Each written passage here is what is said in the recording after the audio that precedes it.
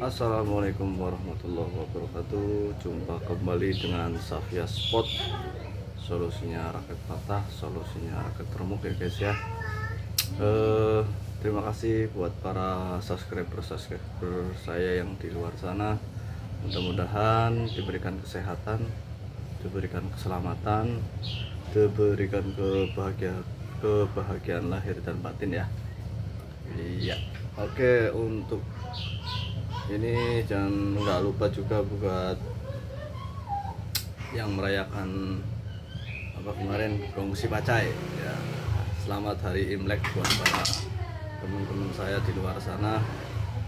Ya mudah-mudahan hari raya kalian bermanfaat bisa berkumpul dengan keluarga dan menurut Sio menurut Sio ini katanya Sio apa ini? Sio kelinci ya guys ya mudah-mudahan yang belum punya rumah diberi lancaran usaha supaya bisa membeli rumah.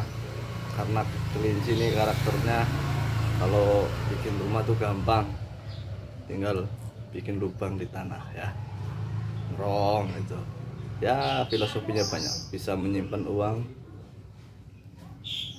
bisa menutup semua apa namanya tabungan-tabungan biar nggak keluar lagi kan tambah banyak banyak lah yang kita bisa apa nilai dari sebuah kehidupan kelinci. Oke ya guys ya. Kembali ke topik. Kali ini saya kedatangan job pergantian ini ya guys. Pergantian gagang raket ada dua ini kasusnya ini patah sama. Ini kalau patah seperti ini nih berarti ini historinya pemain ini megang di ujung raket ya ujung gagang raket lalu dia buat power akhirnya patah. Tuh, kebetulan kalau ngomongin tukang kayu nih serat kayunya seperti ini ya. Jadi, dia ini orang luar kah nggak mengikuti alur serat si raket jadi ini seratnya begini patah. Kalau ini juga sama nih guys. Ya terus pokok pembahasan per apa pergantian raket ini saya menggunakan raket-raket bekas juga ya guys. Jadi saya tidak membeli kayu lokal. Yang pastinya kalau untuk yang kayu lokal itu lebih berat terus lubangnya itu belum tentu simetris.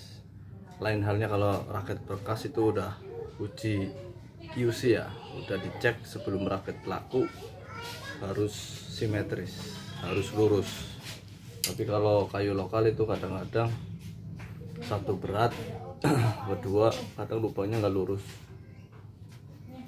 saya mau aplikasikan dengan raket ini guys. Saya sesuaikan spek raketnya juga. Jadi saya aplikasikan dengan raket bekas RS Metric Power dan raket Yonex nih Musical Power. Ini nanti saya sesuaikan di ini ya. Ini Musical Power berarti dia larinya ke Voltric ini Voltric karena raket ini nih kategorinya raket gebuk ya. Dia berat di atas jadi ini sesuai sama ini.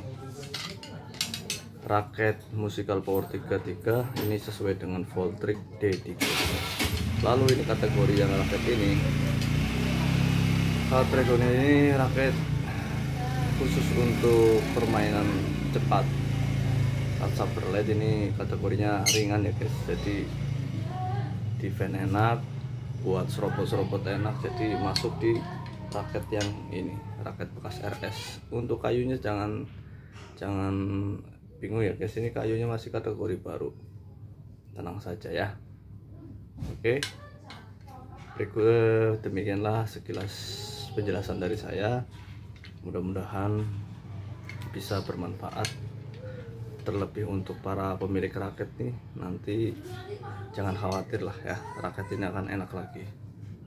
Gitu ya guys ya Terima kasih, jangan lupa subscribe-nya, like, komen, dan share ke teman-teman anda rekan anda yang satu hobi. Ya kurang lebihnya mohon maaf. Assalamualaikum. Salam sehat karena badminton